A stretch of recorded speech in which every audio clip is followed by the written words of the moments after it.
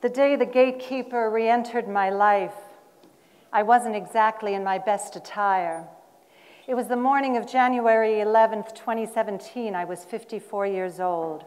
From my hospital bed, the view across the Brooklyn rooftops was gray and cloudy with occasional streaks of sunshine. It had been a long night following a frightful day. My husband Mac sat to my left, leaning onto the bed, holding my hand, his eyes tired, curious, and concerned. A brief knock on the door, and Dr. Stravinsky entered, introduced herself, and reviewing my chart, crossed the room, stood with her back in the window, and addressed us both. You had quite a day yesterday. I'm sorry it was so fraught. How lucky for you that your husband was home when it happened. This is your first seizure, right? That's correct. We found nothing abnormal on the CT scan or MRI. We just got the EEG results, and it is showing an anomaly in the left temporal lobe. From your husband's description of finding you collapsed yesterday and these results, you've experienced what we call syncope seizure. Suddenly, there was a flurry of activity on the rooftop outside the window. I turned to see the hawk land on the adjacent rooftop, his broad wings arched and protective. He pinned his prey to the roof with his talons, pitched back his aqua beak, and landed it straight into the creature's chest. A streak of blood sprayed the raptor's spotted breast as he tore at his fresh kill. Stravinsky didn't notice the frenzy outside or the plume of gray and white New York City pigeon feathers that blew upward. I understand you're fully through menopause, she asked. I moved my eyes from the hawk to her. Yes, I said. And there's no history of seizures that you know of? No, none that I know of, but I'll ask my parents. She directed her next question at Mac. My eyes dashed to the window. The whole five minute scene was over. The hawk puffed up his chest, drew up on his powerful legs, lifted his feathers, caught the air, and flew off. Wow, what does that mean? I asked, said aloud, meaning the hawk. It means, Stravinsky said, looking up from my chart, that we plan to release you today. We'll start you on an anti seizure medication and give you something to help with that bruise on your face. You should see a neurologist as soon as you can. I have one to recommend at Mount Sinai. She specializes in women's late onset epilepsy. The doctor wished us well and left. I turned to my husband, my eyes wide, a lump in my throat. Epilepsy, said Mac, sympathetically. Yeah, said I. But did you see the hawk? The day before, just after breakfast, my husband found me in the bathroom of our Brooklyn apartment in the middle of a grand mal seizure. In the span of about 12 minutes, he experienced a lifetime of PTSD. I have no memory of it. When he first reached the bathroom door, he couldn't open it. Through the gap, he saw me lying face down and pinned into the corner behind the door, convulsing. Breaking the door down meant crushing me. Shouting my name, he willed his tall body through the narrow opening, climbed over the sink, pulled me onto my knees, got in front of me, and felt my pulse. It was steady, but my breathing was highly irregular. My pupils dilated and eyes rolled up in my head. He carried me to our bed and called 911. Slowly, I came to, my mood light as I emerged from what seemed to him the throes of an ecstatic struggle, saying, Ooh, and wow, wow. I looked around fascinated, wanted to know how I got to the bed, and when I saw his anxious face, what on earth was wrong? I was cyanotic when EMS arrived immediate oxygen and a calm ride to Methodist Hospital, no ambulance lights flashing, no racing through the late morning traffic, a comfort. And so began my journey into the latest mystery of life, left temporal lobe epilepsy, my newest flow state, or flow gate, as I call it. The dent in the bathroom radiator proved that I hit my face on it as I fell, the bruise blue and yellow along the entire right side. I queried my worried parents in Maryland and their sisters in Germany. No one knew of any epilepsy or seizures in the family. A week later, I met the woman who would see me through the first year and a half of my journey.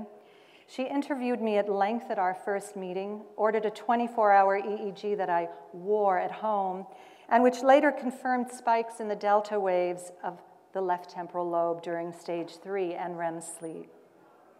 She asked me about auras.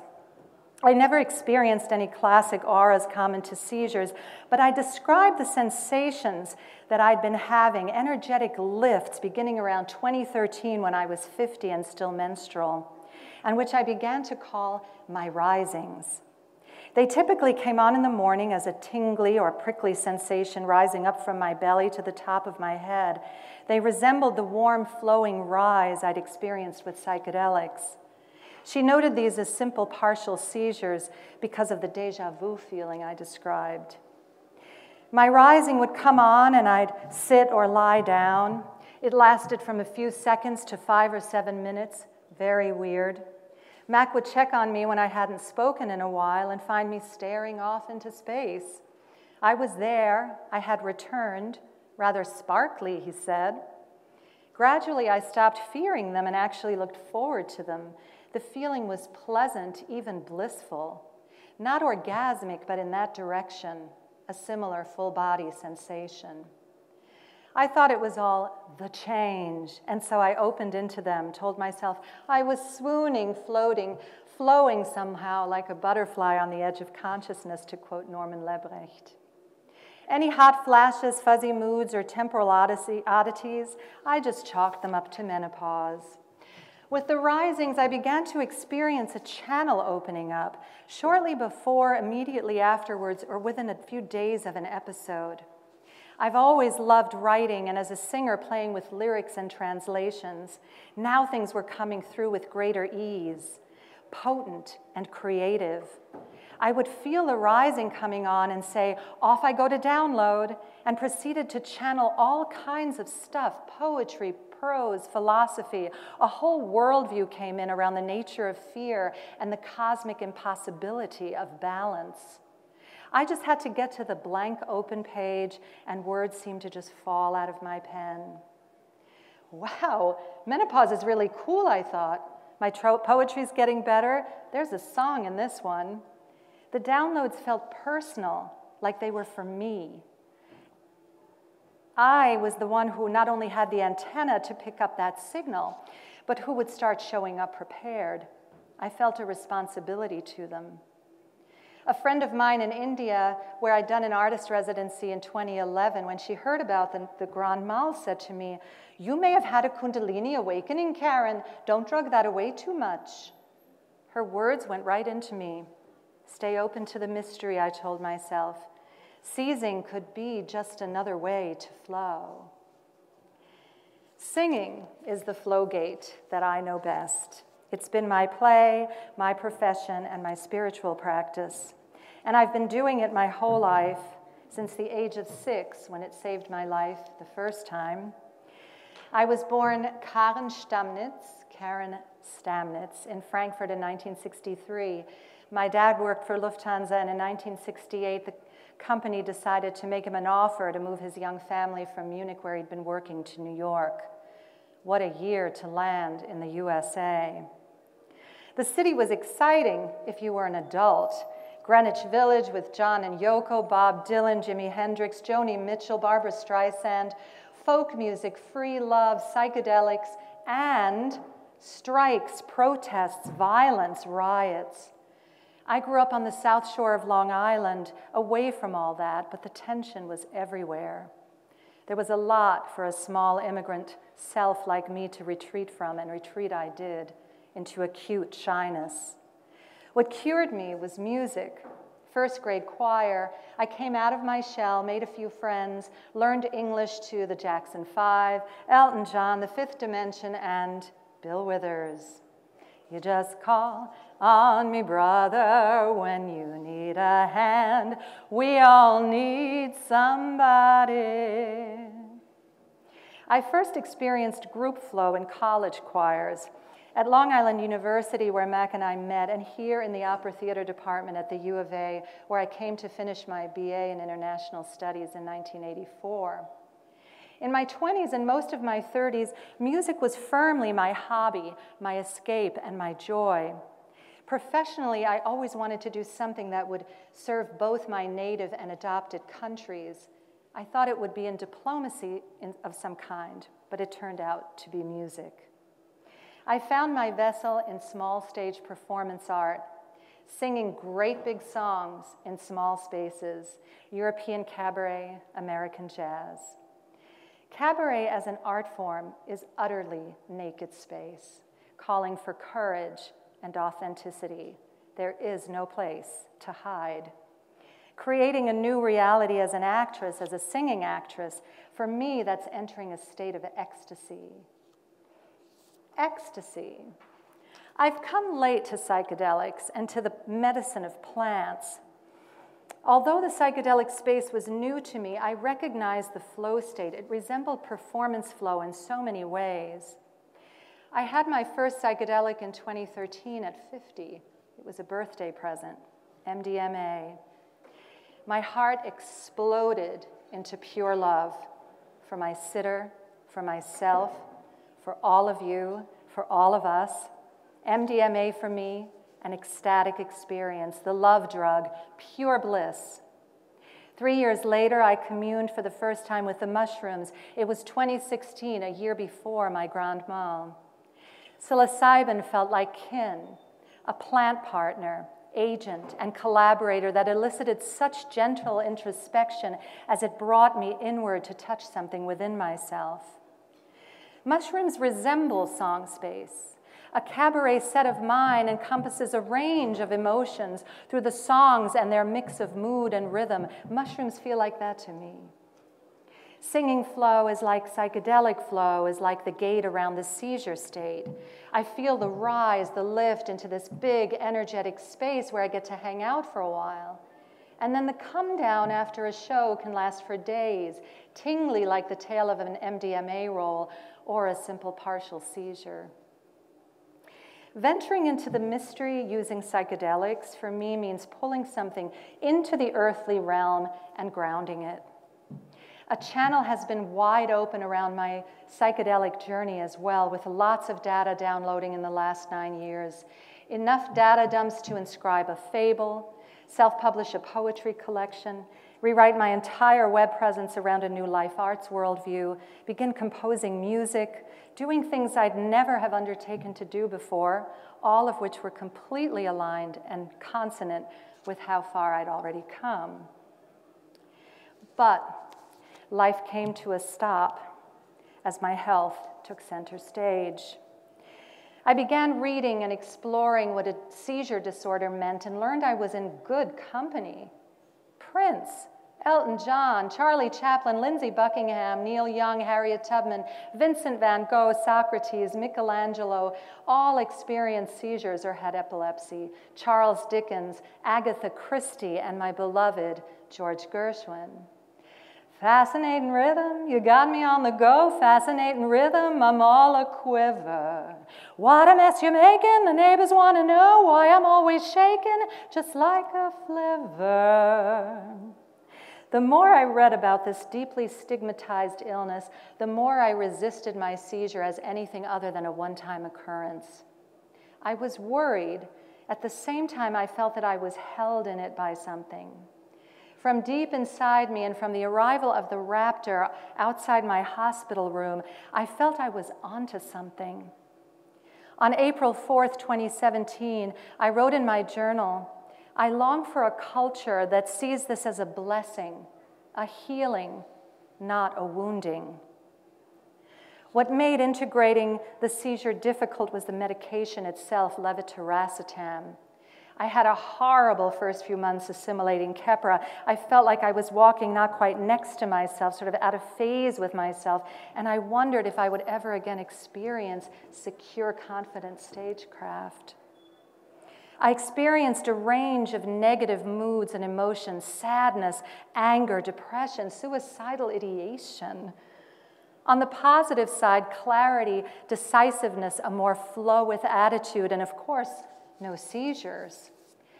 But the idea of being on this drug for the rest of my life or having had just one seizure did not sit well with me.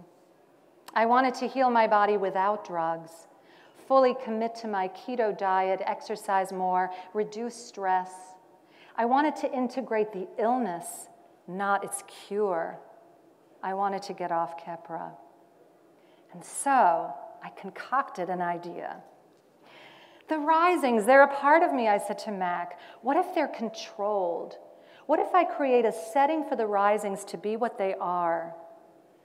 I mean, wherever I wander off to during a simple partial, I know I come back. I come back with inspiration and language, new language. It feels like I bring another dimension into this one. Mac was intrigued.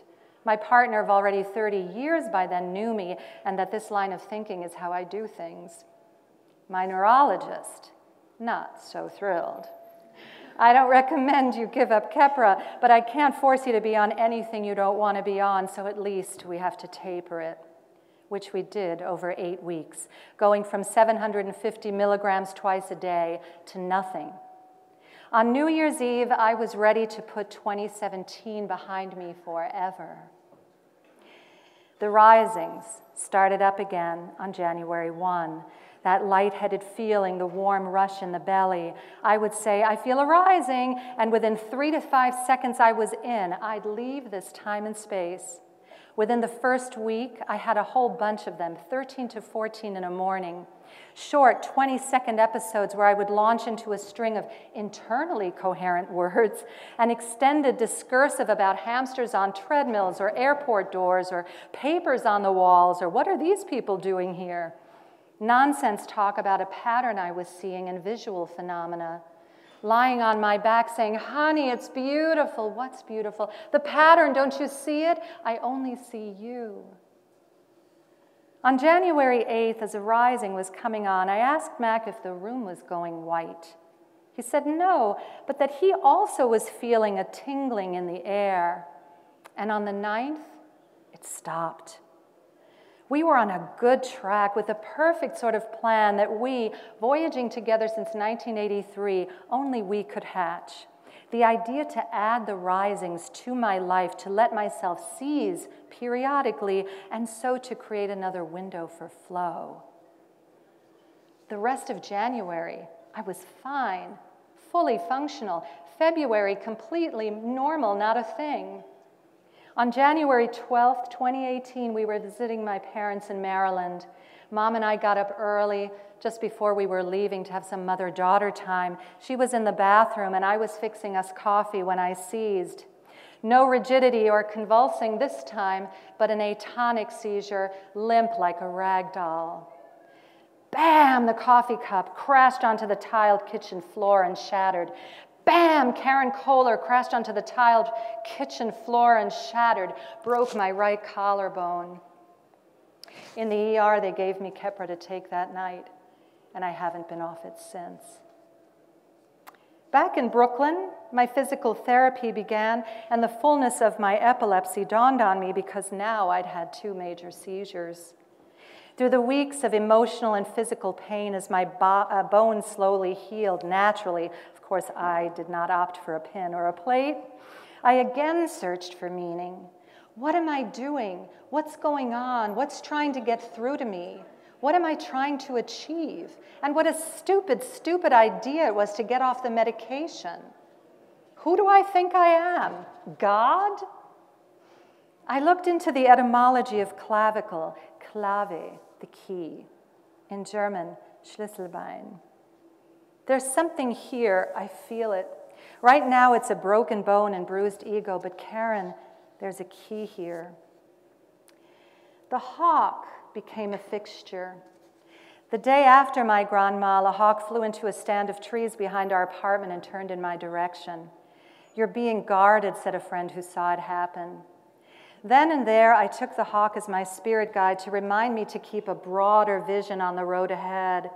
I longed to see the hidden meaning and teaching in this journey, and I began seeing hawks all the time Cooper's hawks and red tails mostly. I attended falconry shows. I learned to fly them. They were constantly circling over our rooftop apartment and appeared sometimes as if on cue. Hawk whisperer, said Mac. I began looking for them, for songs about them. So these are the three gates of my embodied flow that I know intimately songs, psychedelics, and seizures. The gate of seizures lasts a few minutes. The gate of song a few minutes to an hour, the gate of psychedelics a few hours. My consciousness has spent the last nine years hopping between these gates, gate hopping, and experiencing a connection into a larger matrix by becoming a channel of creativity. Time and again, I've accessed a dimension that seems so real, more real than this one. We can train to access flow. Flow is what we artists and trippers and epileptics do, athletes do it, monks do it, surgeons do it, millions do it, you do it, we all do it. Let's do it. Let's fall in flow. Hungarian American psychologist Mihaly Csikszentmihalyi, he wrote the book on flow.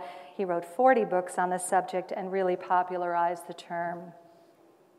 He outlined a variety of components of flow, such as intense and focused concentration on the present moment. Oh, yeah. In song space, all my thoughts, feelings, and actions are in harmony. I'm listening deeply with my entire being and effortlessly integrating anything that comes my way. Right things happening fuels the flow. Mistakes are absorbed and not seen as mistakes at all. Everything is incorporated. Turn on, tune in, drop out, said Timothy Leary. He was talking about flow. My stage partners are in flow around me, and so there's immediate feedback, another flow component as I'm taking their inputs and giving back a float in trust and support. The audience is flowing with our groove and their energy feeds it.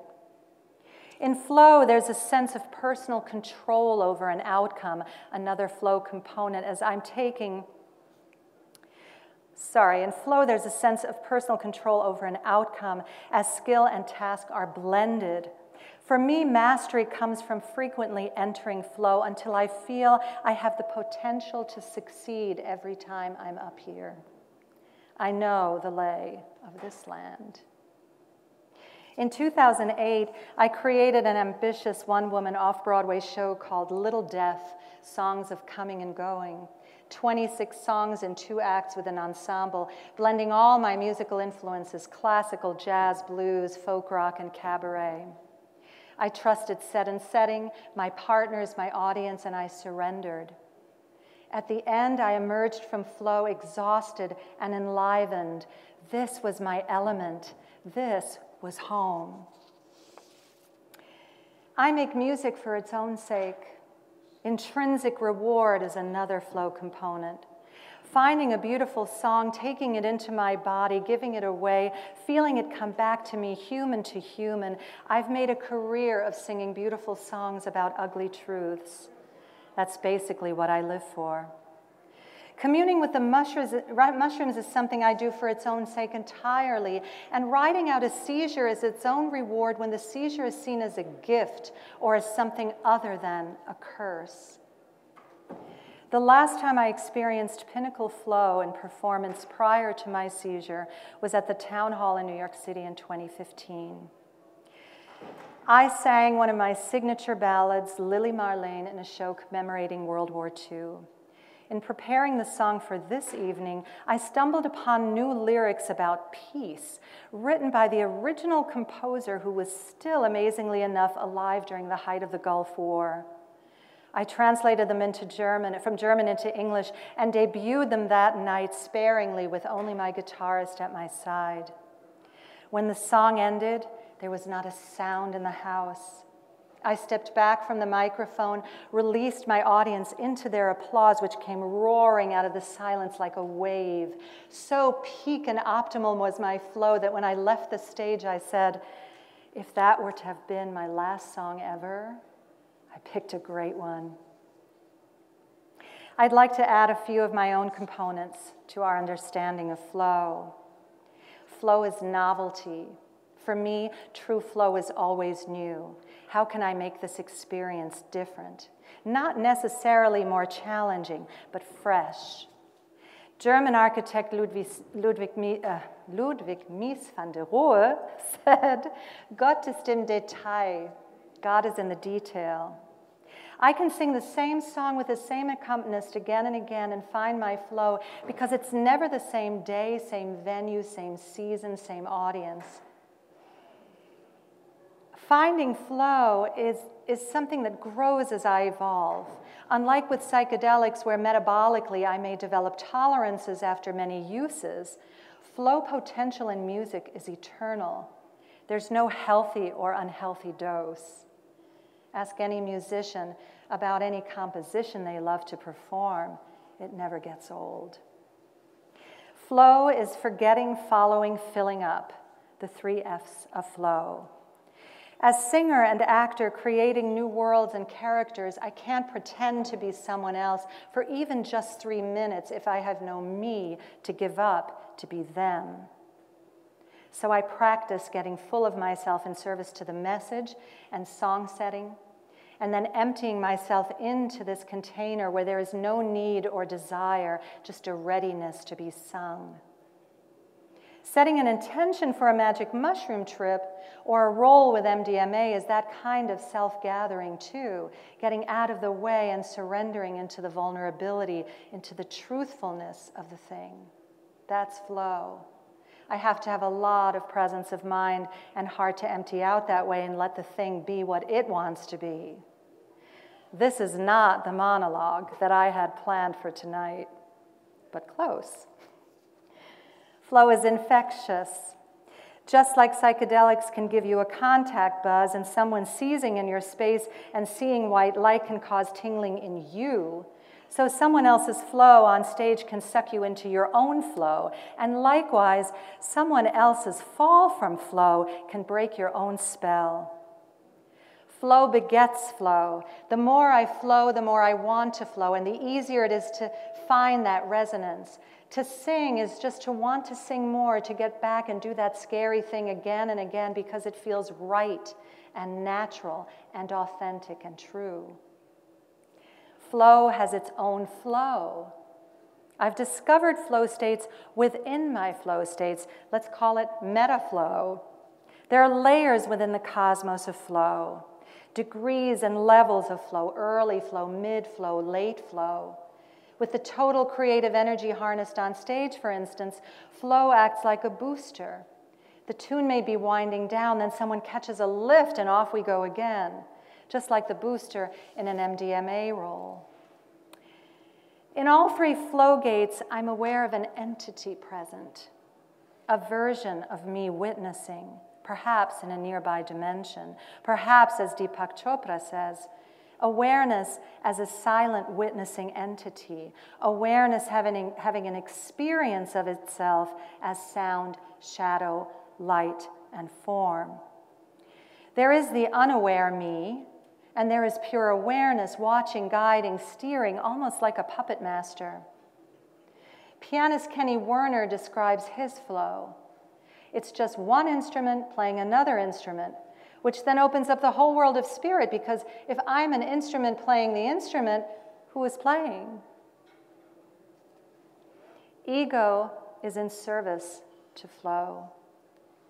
In the theater, we play with masks, internal and external. The mask is a critical tool to seeing and knowing. Ego is such a mask. For me, ego changes its resonance, an important precursor to flow. My ego surrenders its protective nature and gets out of the way so I can be present in the now. It goes offline, but it doesn't leave or, God forbid, die. No, I couldn't exist up here without it. Ego is happiest playing its vital role as gatekeeper. Ego brings me to this flow gate called performance art or psychedelics or seizures, and there it waits. That's the agreement. I step in and it steps aside, like a butler ready to attend when I return. What drew me to this theme of flow are what I've experienced as the shared traits among the gates, the gates of song, psychedelics, and seizures. Here are just a few aura and onset trait.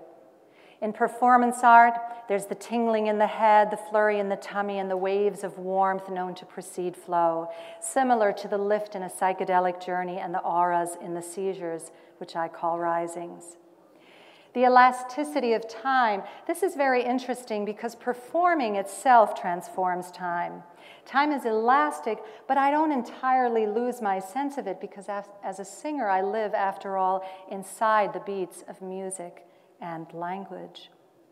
I can flow and still have a sense of pacing and duration because I feel that I'm at once inside and outside the experience. My whole being is streaming, and I arrive at the same place with others who are also flowing. We're alive as one pulse that drives the meter and the heart. In psychedelic flow, time likewise dissolves. It's my sitter who reminds me it's time to eat, drink, and have a boost. In the seizure state afterwards, I remember a sense of fullness of space and time, an out of body sensation, and sometimes the intuiting of other dimensions interconnecting with this one. In the current of performing, of rolling with MDMA and inside the risings of epilepsy, I feel complete freedom to feel and be and do as I am. Being in flow, I feel discharged from anything else. I'm alive in the moment, riding my breath, coursing with emotion. Freedom to me is being dissolved in a great song, alive in the silence between the notes. I have just been where I come from. I am filled with remembering. I have been home, home in the zone. Set and setting is another common trait. In psychedelics, we take care to create the right conditions for journeying. Those who experience seizures take care to regard the aura as a signal and prepare to meet them. Cabaret is, by definition, set and setting. I create the set and setting that I imagine will be right for each song inside my set of songs, each song a universe unto itself. Near death experience. Each flow gate brims with world changing potential. My peak flow in these gates of song, psychedelics, and seizures count as among the most significant events of my life. Rude awakenings, big happenings, brushes with death. Interestingly, in the last seven years, I've had someone die in my arms on the sidewalk, been called to attend the home birth of a stranger, had candid and often funny conversations with my 95 year old aunt who really wanted to die and couldn't. It's not that I don't fear death anymore, but I definitely have a different relationship with her now. All three flow gates are ancient. From time immemorial, humans have been singing, communing with entheogens, and falling down. We've been singing since we discovered we had a voice. We sang before we spoke. We've always used plants as sacraments, and the history of epilepsy is connected with the history of humanity. Hippocrates called epilepsy the great disease, the sacred illness. Democritus said that the brain is the center of the soul. Galen first described the aura, the Greek word for breeze. Like psychedelic seizures have defied our understanding, though, thereby evoking fear, which has then led to stigmatization. In the Dark Ages, doctors believed epilepsy was the re result of demonic possession, and epileptics were treated like witches and warlocks. Not until the 18th and 19th centuries were epileptics treated like patients and not lunatics. Finally, all three flow gates share the trait of stigma. Plato suggested punishment for people selling slaves with epilepsy. Hippocrates claimed seizures were a punishment from the gods for bad behavior. Whew. People with epilepsy have been barred from having children and forcibly sterilized. In the West, well into the 20th century, you had to disclose your epilepsy before marriage, and if you didn't, your marriage could be annulled. Psychedelics have, of course, been highly stigmatized and discredited. Stigma in art brings to mind Piss Christ, a photograph by Andres Serrano who was accused of sacrilege. Art as a sustainable life path is still stigmatized. Myths persist about the suffering, impoverished artist. Novelist Nick Laird knows what's true. We artists live with our pain to transform it, and making art is how we do it. It's how we spend our love. But flow gates have also been used in sacred ceremony and shamanic preparation. In some traditional cultures, epilepsy is viewed as a maturation experience, providing the afflicted with unusual talents and skills. Inuit culture teaches that a seizure is a step in becoming who you're destined to be. A sacred test that, once completed, makes you a shaman. Well, what if the gods are not unhappy? What if a seizure isn't punishment? What if all our illnesses are sacred lenses into remembering who and what we truly are, which is infinite? What's in the way? The default mode network. The DMN, that collection of brain regions that's active when we're thinking about the past or future. The place where I've narrowed myself down once in a while, I squeeze myself back into this tighter place to crystallize a flow experience and give it meaning, to separate myself from it so I can see it, so I can merge, so I can know love. Inside time and space, I can play and discover and return at will to the numinous, essential vastness. Once in a while, I alter myself. I, consciousness, enter this play space called the DMN.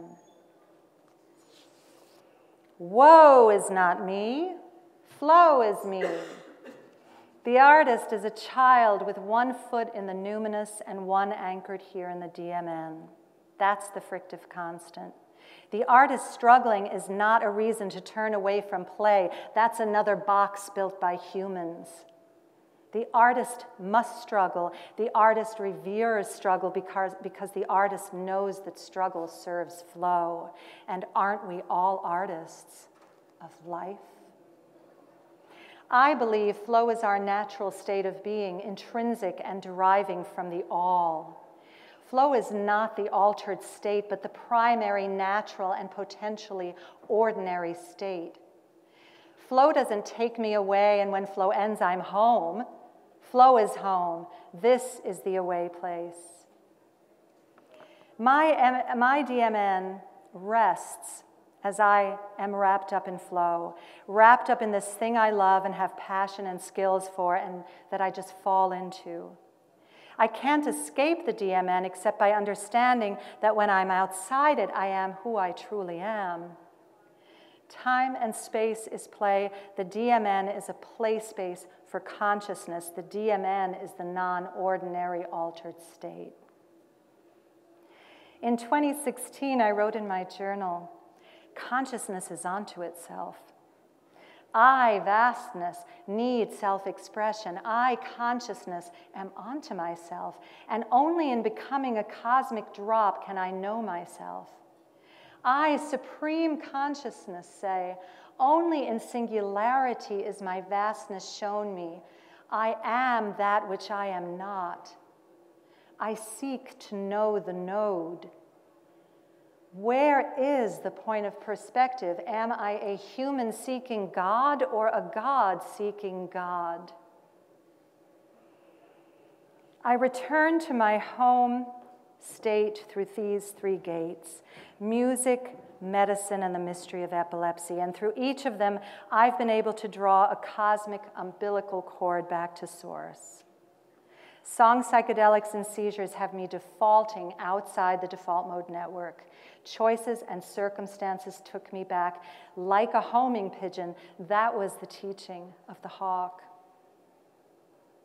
Those who dream by day are cognizant of many things which escape those who dream only by night, said an artist with epilepsy named Edgar Allan Poe. Seizures, where are they now? My seizures were an opening. The Grand Mal was an unblocking that rather violently came onto the scene. The question that lay before me was Here's some pain, Karen. Are you going to take it or make it? Two months ago, on February 12th, I marked myself as four years seizure free. The bliss states, the risings from seizures, they've completely stopped since we began controlling epilepsy with medication. I have, in fact, drugged those away. The same drugs that keep me on my feet and able to stand here before you are also modulating a part of my seizure life that was heaven sent. I wish there was a way to prevent the seizures, but preserve the ecstatic nature of the risings. So here's a silver lining, and this is really cool. I was flowing with the research for this presentation when I made a discovery about the nature of my epilepsy that hadn't come up in two ER visits and four years with three highly skilled neurologists. I took down Dostoevsky's The Idiot and reread a passage where Prince Myshkin is describing his experience in his own words. The protagonist with the same disease as his creator, who believes epilepsy is a gift and means of reaching salvation. I shouted, Yes, there was a feeling of harmony and beauty in the highest degree. Yes, they occurred in the mornings. Yes, there was a premonition of something that would happen or had already happened. Yes, there was a quickening of the life force inside. My doctors never mentioned ecstatic epileptic seizures to me. Five years after my grand mal seizure, I have self diagnosed this form of seizures while preparing this monologue. In a work of art, of literature, I find references to ecstatic seizures. Who knew? Songs. Where are they now? After the Lili Marlene Pinnacle Flow experience, I took a pause from my active solo performing career, my first break in 20 years. I will sing again, and I will sing my own songs. Psychedelics, where are they now? After my last seizure in 2018, I was sure that this flow gate was permanently off limits to me. MDMA, certainly. Psilocybin? Can an epileptic singer cross the Rubicon with magic mushrooms? Can she cross the point of no return and return? In December 2019, two years after the drop seizure that broke my collarbone, I communed again with the mushroom and have done so twice since. So far, so good. Psilocybin is compatible with my left temporal lobe epilepsy. It is possible to continue a relationship with this gentle teacher. I'm not advocating it, I'm simply reporting as a data point. I love psilocybin because it loves something I have. It doesn't mind my epilepsy. I'm grateful to have this flow gate still open to me and keen to learn from this terrestrial messenger. I was, after all, born Stamitz. I haven't met Paul Stamets yet, but according to his wiki page, he's the big mushroom guy, for those of you who may not be familiar. he wears a mushroom hat. Paul Stamets. According to his wiki page, we may have a common ancestor, a musician, a whole family of them famous for their Mannheim crescendo for all you classical musicians out there. Integration is the key that I found here. To all three of my gates, to any gates, to my and our evolution. Through integration comes connection, and through connection comes growth, conscious evolution through flow. Applying the insights gleaned in performance, psychedelic, and seizure flow to my everyday life is how I've evolved. Integrating flow states becomes its own spiritual practice, just like meditation. The point of meditation is not to just sit for five minutes every day, but elsewhere in the day to have those crystalline moments of acute awareness where, as my husband says, the tiniest of gestures, like the waving of a hand, becomes the deep meaning of our entire existence. That's evolution. As I evolve myself through flow, I evolve my community. Creative integration for me means saying my grand mal seizure was the hawk, the ancient companion that grabbed hold of me and tore into me, into my life, and everything essential stayed to nourish me, and everything useful, useless, was blown away. It means saying my grand mal seizure was also the pigeon. I surrendered to it, and in exchange, it offered sustenance, growth, and a key into the nature of mystery. I come from where the hawks fly. I come from the network of stars and fungal feet. I come from the sound of the first voice singing, the first hand clapping, the first drum beating. And I know that you do too. Thank you.